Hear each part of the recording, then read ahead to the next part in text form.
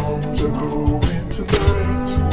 She hears only whispers of some quiet conversation.